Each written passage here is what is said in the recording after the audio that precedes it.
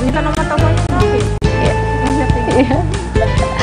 Biasanya ya pemirsa, setiap ide baru selalu dianggap ada saja orang-orang yang menganggap remeh. Apa sih ini? Apa berhasil begitu usahanya? Saya mau tanya, pernah digituin juga nggak waktu pertama bikin ini? Untuk pertama bikin ini sih kemarin juga banyak yang bilang ini buat apa sih ada-ada aja gitu. Ya tapi nggak taunya di luar dugaan saya gitu respon masyarakat luas cukup positif lah dengan adanya gosok keliling ini gitu. Apa yang membuat Mas begitu yakin bahwa ini bisa sukses, bisa berhasil?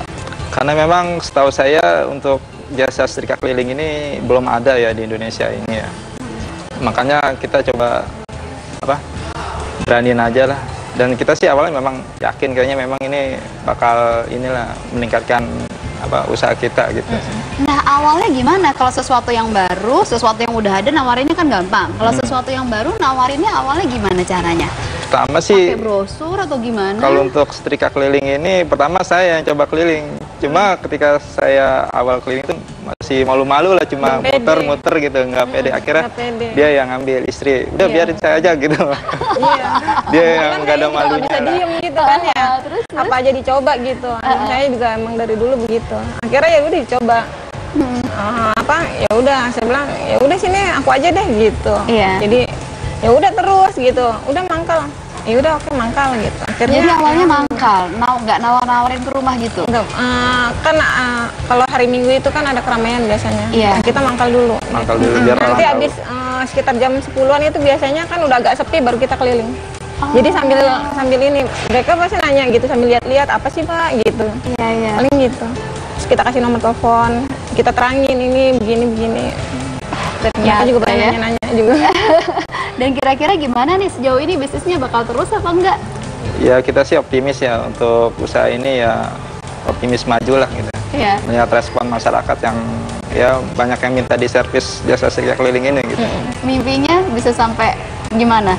Ya mimpinya sih kita pengen seperti apa banyak armada aja ya seperti Nyanyiin Gojek gitu Gojek lah lah ya. ya.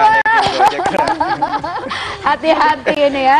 Gojek punya pesaing baru nih, gokil namanya. Namanya gokil. Itu itu catchy banget. Itu benar-benar mudah diingat. Itu kepikirannya dari mana? Pikiran sih dari waktu itu anak-anak pernah uh, teriak-teriak gokil gokil gitu. Heeh. Akhirnya, Ih, kayaknya bagus nih gokil. Oh, Nah, anak-anak teriak gokil gokil. Iya, itu ngeledek atau gimana sebenarnya? enggak itu dari gosok kiloan itu sebenarnya Oh. nah sekarang karena ada yang keliling juga jadi kan agak nyambung Iya, iya. Gosok keliling Ah, jadi. gosok keliling Jadi begitu ya, terciptalah kemudian nama itu gitu Iya. ya.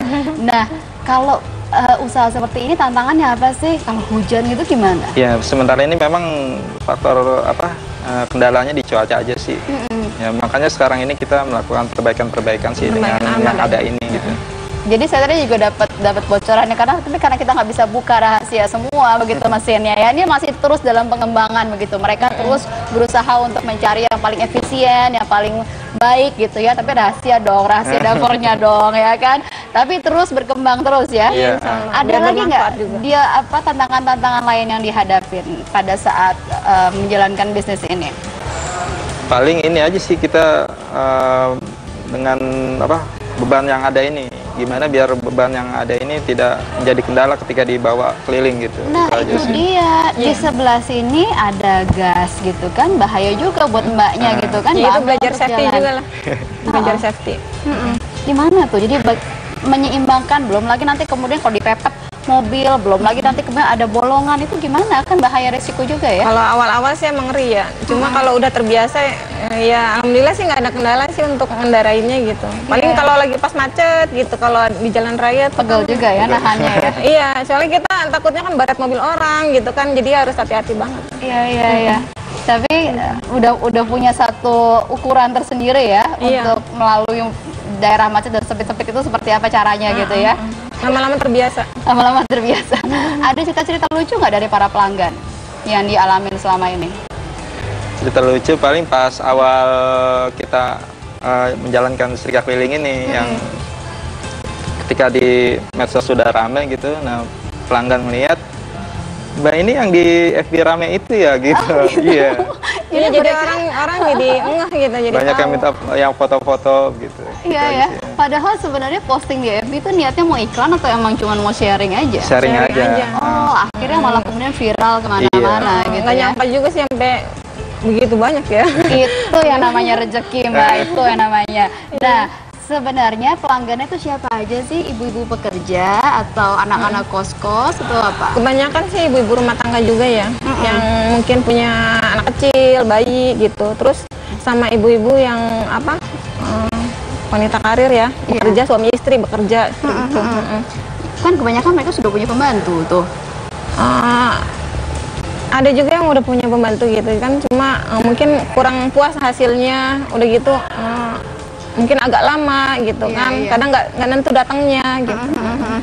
Nah itu dia. Memang apa ya eh, ke- ada kebutuhan-kebutuhan yang kita sering kali nggak sadar begitu ya bahwa ternyata ketika ada ada pilihan kita ambil seperti kayak udah punya pembantu masih juga gitu ya. Iya. pakai Iya, setrikaan juga. Nah sekarang kalau ingin ngembangin usaha gitu ya kira-kira berapa lama nih kita bisa lihat nambah lagi motornya? Ya ya memang untuk kalangan kita sih yang masalah utama memang di modal itu ya untuk mengembangkan ini. Tapi ya sementara ini sih kita dengan modal seadanya aja dulu lah. ya kita sih mudah-mudahan kem- berkembang lah. berkembang lah dengan respon yang cukup baik ini sih. Tapi yang lebih jelas semangat insya Allah. Eh, pasti ya, harus lebih Iya, semangat semangat. dong. Tapi yang jelas tadi dengan kreativitasnya dengan inovasinya dengan pantang menyerahnya sudah pernah gagal sekali tapi terus maju terus gitu ya. Eh, kendalanya modal mudah-mudahan ada yang bantuin selainnya iya. atau invest gitu ya. Pokoknya mimpinya saingin Gojek ya iya. Terima membuka kasih. lapangan pekerjaan insya Allah. Itu dia itu mulia sekali mimpinya. Ya mudah-mudahan amin semua terwujudnya. Terima kasih ya Iya, mbak. sama-sama, mau Mbak. ke mana habis ini? Mau pulang dulu mungkin soalnya mau nyetrika dulu gitu. Nggak mau nyoba daerah sini loh banyak kok. mungkin bisa- nanti lah dicoba Oke, nanti dicoba ya. Baik, terima kasih ya sudah hadir. Dan itu dia tadi inspirasi yang sangat menarik dari satu usaha eh, pasangan muda yang kreatif ini namanya Gokil, Gosok Keliling dan kita masih punya berbagai inspirasi lagi di Good News Today sesaat lagi.